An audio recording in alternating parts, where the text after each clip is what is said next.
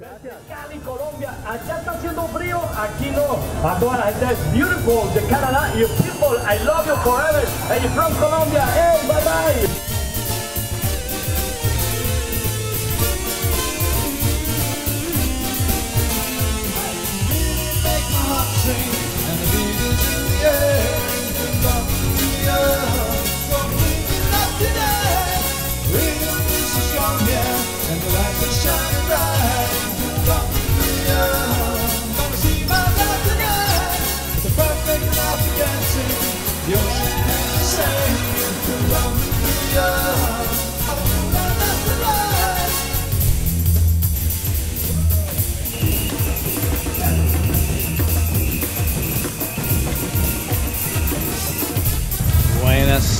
Empanadas, damas y caballeros.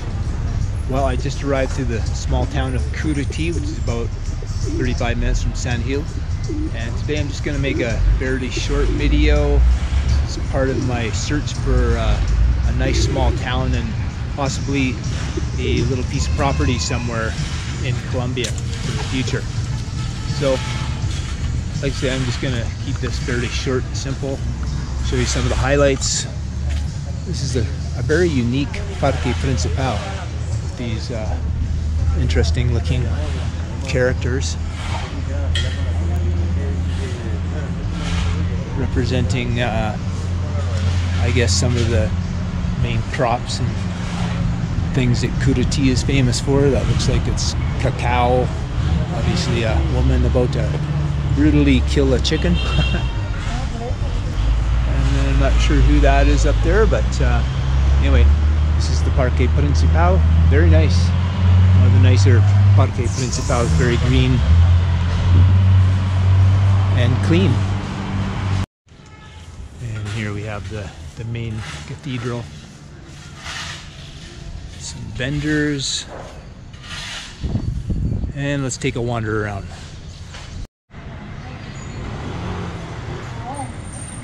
What I remember from last time is that there's a lot of artisans shops here.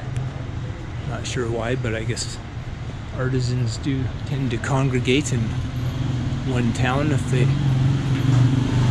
know there's other artisans, like-minded people. So this seems to be pretty typical of the buildings. A little bit of color. Certainly not as colorful as towns like Salento and Jardin in Antioquia. But still fairly nice.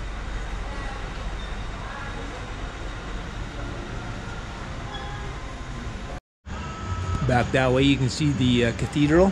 So I just came from down there and just happened to uh, bump into one of the young ladies who worked at a restaurant. She told me about uh, lunch for 12,000 pesos. So seemed friendly enough. So I think I'll head back there in a half an hour.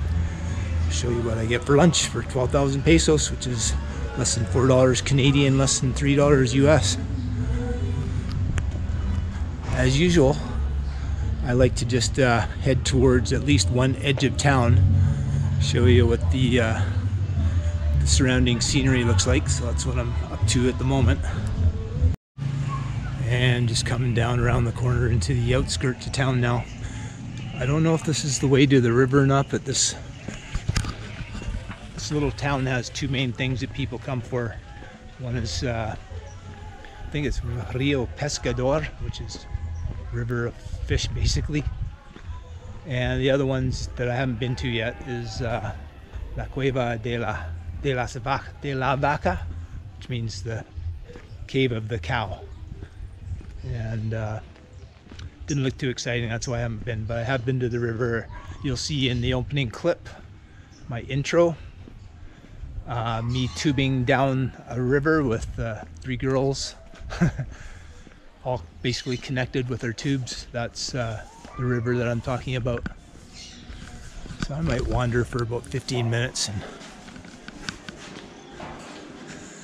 it's always interesting to see the outskirts. Just had somebody say hello, hello. Now that's a set of stairs. Now I don't know if this is somebody's former house, but if so, that's pretty small, but we are getting into some pretty, pretty small homes down here. I'm pretty sure this is the way to the river because I remember going around a really sharp bend in the road back there. But it's, uh, as I recall, it's definitely too far to walk. I've got six hours if I want to here, but uh, I'm just planning on spending a couple hours having lunch, wandering around a little bit. But uh, as you can see from the sign, glamping, I guess this is the place here.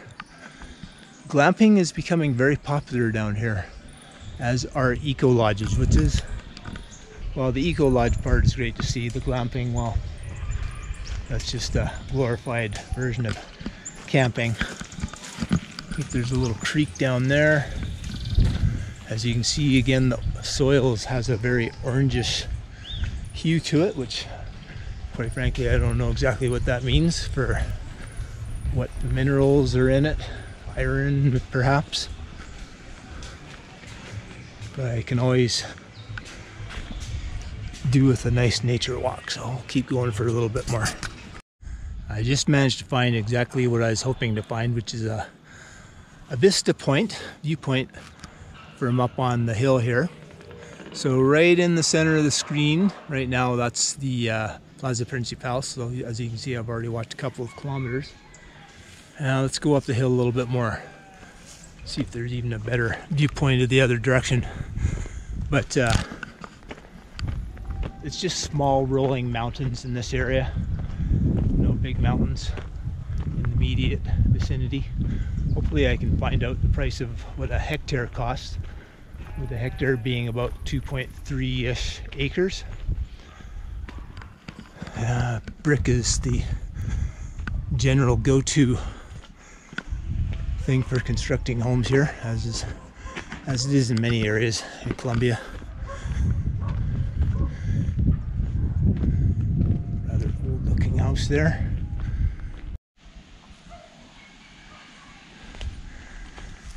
Passed by a very friendly lady carrying a bucket of corn. So obviously they grow corn here, which is actually what I was about to get to next was what do I see that they're growing around here? I've seen plantain, banana plants, uh, sugar cane. Looks like we're uh, coming to the top of a hill here where my mission might be accomplished of a, a view. This is as far as I'm going to go. Just showing you the flora and fauna of the mountains. As you can see, it's kind of not very green. A lot of dead foliage over there. Towns down there. I want to point out this tree here in particular because it's a variety of pine that I've seen in several locations. Normally, those pine trees, however, uh, a little higher up in altitude, so I'm kind of surprised to see it here, but that's the only one I've seen so far. But uh, if I'm being honest, it's not my favorite flora and fauna and trees. I've seen areas, for instance, San Vicente de Chucuri. The drive up to San Vicente, the flora and fauna is just something really beautiful about it. Anyway, I'm gonna head back into town and check out the lunch place. This is just on the other side of the road. Somebody's growing some crops here. I'm not quite sure what they are, but uh, I also wanted to point out these uh, beautiful reddish pink flowers. I think that Colombia has pretty much every color of flower under the rainbow in trees down here. It's quite beautiful. Uh, I was going to mention while I think of it too that uh, it's about same temperature here as it is in San Gil, which is about 28 degrees Celsius today, but uh, not too humid a bit of a breeze, so it's fairly comfortable once you get used to 28 Celsius. And this is the place, Sazon Curiteño, comida típico. Means food typical of the area. So let's check it out. What's their menu of the day here? Pechuga chicken, pollo sudado, that's chicken carne, bistec, that's uh, meat. Pechuga, pechuga. Okay,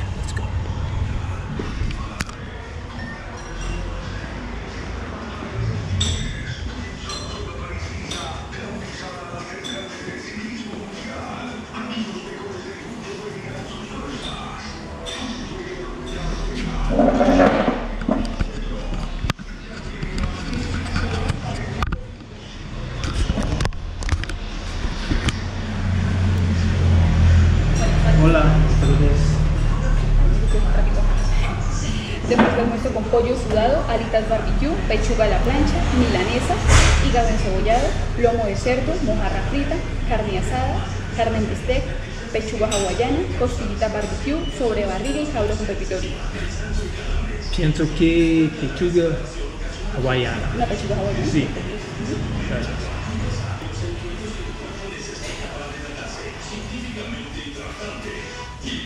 Lunch has arrived. This is Hawaiian chicken, some cheese on there, some looks like some lentils, plantains, salad, and rice, and a vegetable soup, orange juice. So lunch was actually pretty good, but it did turn out to be fifteen thousand instead of twelve thousand because, as she explained, it's a it was a different meal than what she was describing earlier. Anyway, it's uh, about twelve thirty and a lot of the stores they shut down for an hour or two, maybe even around lunchtime. So it's pretty quiet right now. This appears to be the local soccer field. Not the fanciest pitch, but at least it looks pretty level. So, in case you haven't noticed, I've uh, if the picture looks a little bit different, it's because I wasn't really planning on making a vlog today. So I only brought the one battery for my GoPro and it is already it's already almost run out of power so I'm just going to be able to do my my finish with the GoPro at the very end. So that's why things aren't quite as smooth as they are with the GoPro etc. I appear to be on another outer edge of town, the opposite side of before. And it's about four blocks away from the Plaza Principal. Have one of the tourism outfits. Cueva de la Vaca. Torrentismo. That's parapente, paragliding. So this is just down the uh, street from the main plaza.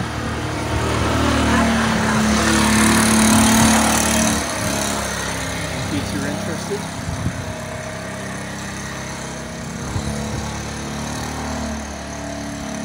Right up the hill there is Plaza Principal. And right over there is all new subdivision. As you can see right there, there's a whole bunch of oranges growing. Got a little swimming pool down there, so I guess that's a hotel.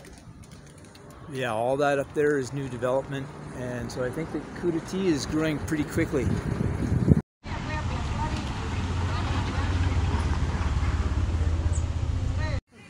A 360 view of the park before I uh, sign off.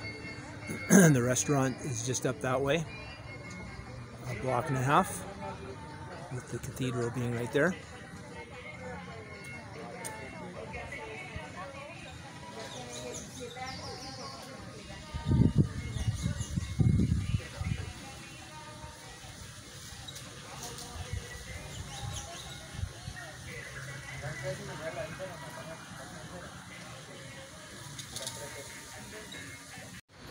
For the most part, Curiti is just a regular, normal functioning town with a little bit of tourism thrown in.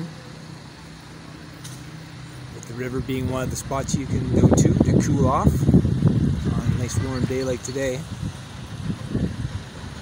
And the cost to get here from San Gil was only 6,000 pesos, which is less than $2 Canadian, $1.25 US or thereabouts. So very economical. Okay, damas y caballeros, time to wrap things up for my little trip to Curiti. So, what did you think of this place, uh, senora? Oh, qué lindo, señor. Yeah, I agree. It's a pretty little town. So, on behalf of all these characters and myself, remember, there's no you in Colombia, but hopefully you can come visit this beautiful country someday. And thanks for watching. Until next time, hopefully you won't be as bored as this guy. Hasta las tacos. Ciao. On the bus we go every 20 minutes to San Diego.